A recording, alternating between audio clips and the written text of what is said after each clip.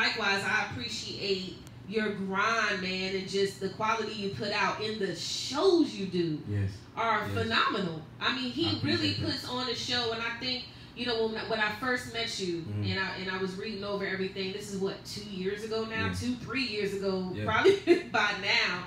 Yep. Um, yep. You know, I was just really amazed at your energy, your passion. You know, when you see artists, you can really tell when they're into what they're doing Right. and you are really into what you do, and I love that. You can feel it, and that's why I support you. And I then you go that. on top of that, you know. Yeah. But it's like your energy introduces you you, you before anything else. It's like, oh god damn, this motherfucker is turned up. So it makes me want to listen. Right, I love it. I mean, the dancing, makes me feel like it's a real show. And I've told you that Yeah. before. I mean, just phenomenal performer, Appreciate phenomenal that. artist, dope songs, everything.